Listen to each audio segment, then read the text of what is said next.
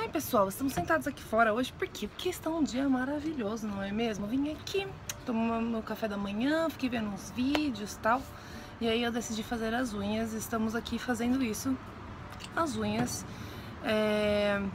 E aí, eu tava vendo pela segunda, acho que segunda vez, ou terceira, nem sei, um vídeo da Flávia Kalina que, cara, em primeiro lugar, se você não conhece Flávia Kalina, pelo amor de Jesus Cristo, aonde você vive? Se vocês acompanham que eu espero que sim, né? Estou partindo do pressuposto que sim, cara. Eu não, eu não sei se você sente a mesma coisa que eu, mas. Ai, não, ela é uma pessoa tão boa, sabe? Uma pessoa tão calma e. Como é que fala isso? Centrada, sabe? Put together, sabe? Uma pessoa tão assim. Eu queria ser assim na vida. Eu sei que é uma coisa que eu nunca vou ser. Mas, mas eu queria ser assim na vida, né? E ela geralmente faz vlogs do dia dela e tal. É, só que ela fez um vídeo semana passada de Maqui fala falando da, da, da, vida dela, né? Do rumo do canal dela tal. E ela falou umas coisas que eu fiquei assim, ó, em êxtase. Porque muitas das, das coisas que ela falou, cara, nossa, eu não vou até prender o cabelo aqui. Acho que eu vou prender o cabelo pra fazer a unha, né? Porque eu sei que eu vou fazer cagada se o cabelo estiver solto muitas das coisas que ela falou são coisas que eu, que eu fico pensando, sabe? Mas, mas não, não compartilho muito com as pessoas porque eu acho que é meio que, sei lá, não sei, né? Às vezes eu até me surpreendo comigo mesma, abre a boca pra falar tanto, tanto nada e quando é pra falar umas coisas sérias eu não sei como é que é pra falar o negócio, entendeu? Mas estamos aqui para, para tal. Eu vou ficar pintando aqui os negócios falando com vocês, tá? Ela abordou vários temas, né? E um dos temas que ela abordou foi sobre como você se sente em relação a você mesmo, sabe? Tanto como pessoa, né? Como personalidade, quanto fisicamente, né? E cara, isso pra mim tocou num, num, ponto que eu já tentei fazer, pra ser bem sincera com vocês, eu já tentei fazer um vídeo sobre, com esse tema várias vezes. Eu já gravei tipo umas 5, 6 vezes esse vídeo e eu sempre acabo deletando porque eu acho que eu não consegui falar do jeito, da forma que eu queria falar. Então vamos ver se hoje sai. É... Ai, by the way, gente, eu vou pintar do jeito que sair, saiu. Ela falou sobre como ela enxerga o corpo dela agora, né? Que ela passou por vários momentos de, de, de autoaceitação. É, e isso é uma coisa que aconteceu, que acontece até hoje comigo, né? Nossa, cara, esse negócio de pintar e falar é, é difícil, né? São duas coisas difíceis de fazer. Falar um negócio com sentido e pintar unha. Não, não tá casando. Essa coisa de autoaceitação e tal tocou muito assim pra mim, porque é, um, é uma coisa que eu, que, que eu particularmente passo desde, desde criança, sabe? Desde pequena. E hoje, eu tava conversando com um amigo esses dias, eu falo, cara, hoje, tipo, eu, eu, eu me enxergo e me valorizo de uma maneira que há um, dois anos não acontecia, sabe? Mas vamos partir do começo. Eu, quando era criança, quando eu era né, pequena, até uns 5 anos, eu era uma criança magrinha, sabe? Tipo, magrinha de tudo tal. E aí, com 5 anos, cara, eu comecei a engordar de uma forma assim, né? Loucamente. Não por nada não, mas é porque eu gosto de comer mesmo. eu gosto de, de comida, sabe? Comer é uma coisa que me dá prazer. Eu não sei se eu sinto mais prazer comendo ou dormindo. Após vocês pensaram que eu ia falar umas besteiras aqui, mas não é isso não. Porque, cara, pra mim, assim, ó, comer e dormir tá num patamar na vida que, nossa senhora. É... Enfim, então com 5 anos que eu comecei, a, eu comecei a engordar e eu cresci desse jeito, sabe? Eu cheguei a minha adolescência até os 15 anos gordinha. E, e na minha cabeça, tipo, aquele era meu corpo normal. Porque por mais que as pessoas ficassem falando que, ai, você é gordinha, porque você não sei o quê, principalmente família, sempre tem aquele tio que adora apontar o dedo na sua cara e falar, nossa, mas você tá gorda, hein? E eu ficava tipo, whatever, sabe? Porque pra mim, é, eu não conhecia outro corpo, sabe? Pra mim, aquela pessoa era eu. Mas também, lá no fundo, assim, eu, eu tentava me cegar, sabe? Tipo, se eu pensasse que aquilo, e isso é um problema que eu tenho até hoje, se eu não pensar no problema, o problema não existe, sabe? Então, tipo, se eu não pensasse que eu estava acima do peso, eu não estava acima do peso, entendeu? É... E minha mãe, que sempre foi muito preocupada, né, com minha saúde e tal, não por estética, mas por saúde, é, vive enchendo meu saco pra fazer, pra fazer dieta, que aliás vamos esclarecer esse termo aqui, dieta é aquilo que você consome, independente de ser de ser só besteira ou ser só coisa saudável, né? Isso é a sua dieta. O que, o que existem são as dietas da moda. É, sempre tentava me, me levar em nutricionistas e tal, e cara, nunca dava resultado, porque era sempre aquele tipo de nutricionista de gaveta, sabe? Abria o negócio, a gaveta, te dava uma dieta de 1.200 calorias padrão, né? Porque é assim, padrão, né? Pra todo mundo. E cara, aquilo pra mim não funcionava, sabe? Eu, eu sentia que eu tinha que ser encaixada no padrão. E, e isso foi até que quando eu tinha uns 15 anos, a minha mãe, quando eu tinha 15 anos, na verdade, que a minha mãe me levou numa endocrinologista. E eu, eu fiquei tipo, não, não, não, não, não, eu não quero ir, eu não quero ir, eu não quero ir com aquele problema, né? Aquele negócio de ignorar o problema. Mas minha mãe falou, não, você vai, mas nem que eu tenho que te arrastar pelos cabelos. E eu fui. Aí eu fui, mas tipo assim, ai, eu vou porque você tá me enchendo o saco. Só que chegando lá, eu acho que eu meio que, meio que me toquei, sabe, da, da, das coisas. E aí na hora de, de me pesar, eu pedi pra me pesar de costas e falei, tipo, não, não quero ver isso, pelo amor de Deus. Não quero ver meu peso. E me pesei de costas, porque, até mesmo porque a balança era digital e tinha uns números, tipo, desse tamanho, assim, na minha cara. É... E não quis ver o peso, só vi a cara de puta merda que minha mãe fez, né? Entrei no consultório, e aí eu vi no cantinho, sabe, aquela coisa curiosa, eu fui lá olhar no cantinho da, da, da, das anotações da médica é, quanto que era meu peso e eu estava com 117 quilos. Sim, 117 quilos. Eu pensei que o número estava escrito errado, que eu tinha lido errado, porque estava de ponta cabeça, né? Eu falei, não, não pode ser, não pode ser. E aí eu já fui, fui pro segundo passo da coisa que foi, ah, não, mas é porque eu sou alta, porque pra quem não sabe eu tenho 1,89m de altura, né? Eu ficava, não, então tá de boa, né? É... Só que aí, cara, é... a endocrinologista, e vamos deixar bem claro aqui que médico nenhum pode te prescrever dieta de, de nenhum tipo, é, até mesmo porque se médico pudesse prescrever dieta para pra, as pessoas, não existiria o um nutricionista, sabe? O médico faria tudo. Então são, tem profissões separadas por um motivo, né? É, mas ela me. O que pra mim mudou muito, assim, entre passar com ela e com outras, com todas, com a endocrinologista e com todos os outros nutricionistas, foi que ela me enxergou como pessoa. Ela não me, me fez encaixar no padrão, mas ela fez eu entender, é, é, eu me entender, eu ser percebida como indivíduo, sabe? Não como mais alguém que tinha que fazer o que todo mundo fazia. É, e ela, sabe, olhava no fundo dos meus olhos e me perguntava, mas como você se sente? Sabe? Como que é o seu dia? É, sabe? Tentava me, me entender para entender como que as coisas chegaram naquele ponto. E, e aí, a partir desse dia eu fiquei tipo, cara, sabe, nossa, é, foi como se mudasse, como se ligasse um interruptor na minha cabeça e falasse: é isso, é isso, sabe? Eu tenho que, que fazer aquilo que é melhor para mim. Eu tenho que, que, que me valorizar, cuidar de mim é, e não, tipo, cuida, cuidar de mim da forma como os outros querem, entendeu? É, bom, e a partir de então eu entrei num processo de reeducação alimentar e e perdi 37 quilos. Parte, maior parte desse peso foi perdido de uma forma saudável e parte desse peso não foi perdido, foi perdido de uma forma totalmente não saudável. Porque no começo, assim, que eu tava naquele pique do ai, não, vamos comer saudável tal. Meu pai sempre foi super encorajador disso, sabe? De, de, de ser saudável, de se exercitar e tal. É, só que chegou numa. Depois de uns meses, assim, chegou no, naquele, naquele efeito platô, sabe? Que não, eu não emagrecia mais. Não importasse o quanto eu me exercitava, não, não importasse, não, não, import, não importava quanto eu me exercitava, não importava se eu comia, sabe, tudo certinho, eu não perdia mais peso, porque chega uma hora que acontece isso mesmo, né? E aí na minha cabeça eu comecei a pensar assim: ah, mas acho que dá pra tirar isso aqui, né? Dá, dá pra eu parar de comer isso aqui, porque vai fazer tanta diferença e eu vou emagrecer. E fui indo assim, indo, indo, indo, até eu parar de comer. É, pra não falar que eu não comia nada, eu comia alface, chuchu e maçã. Porque para mim eram os alimentos menos calóricos. Olha, eu era tão pirada da cabeça que eu tinha que eu tinha uma pasta, sabe aquelas pastas assim com plástico?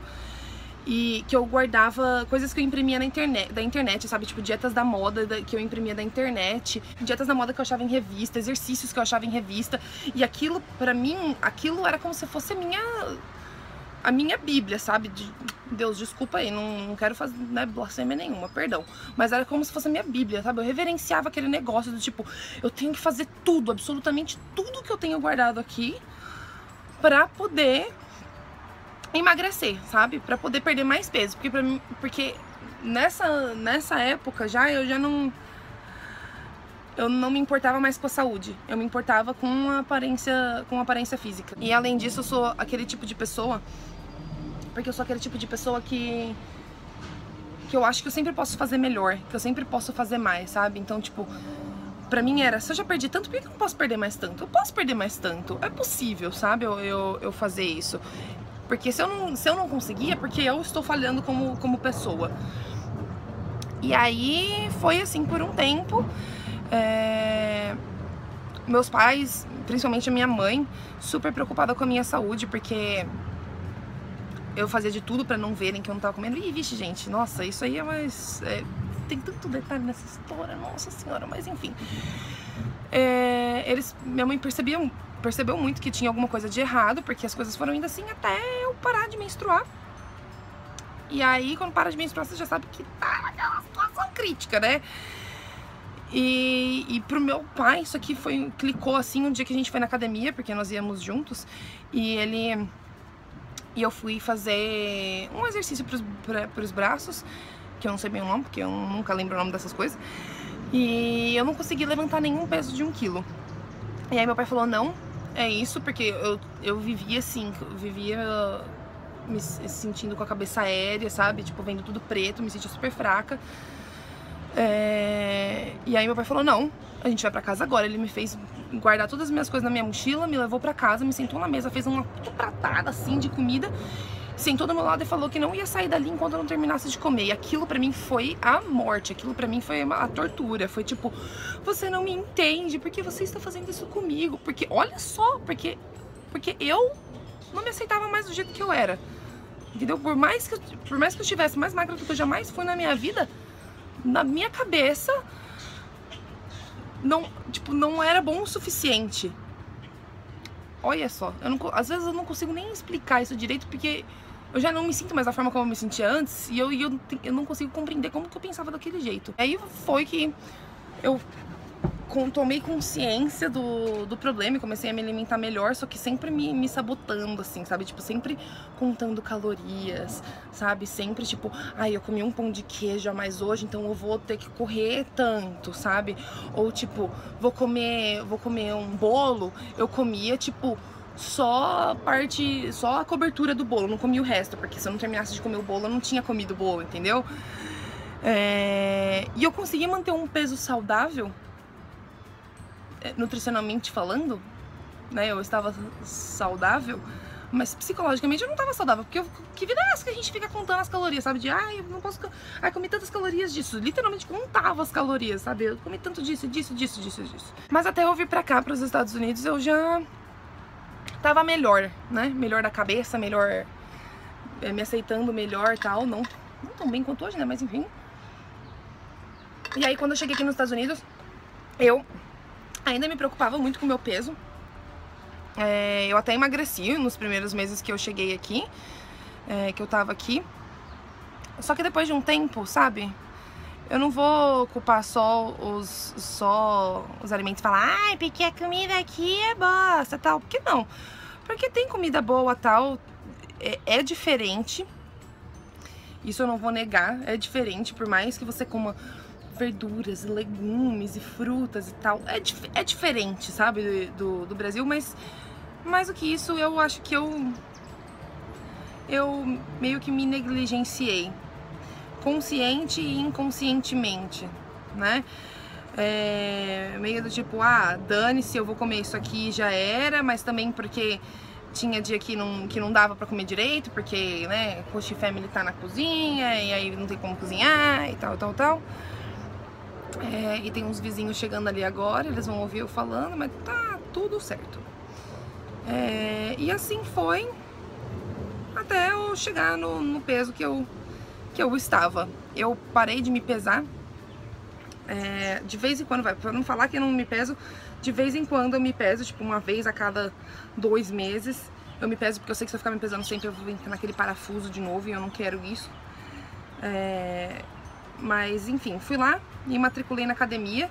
É, antes da minha host family pagava academia, só que como eles não pagavam, eu não sentia, sabe? Tipo que, ah, eu tenho que ir porque não era eu que pagava mesmo, então.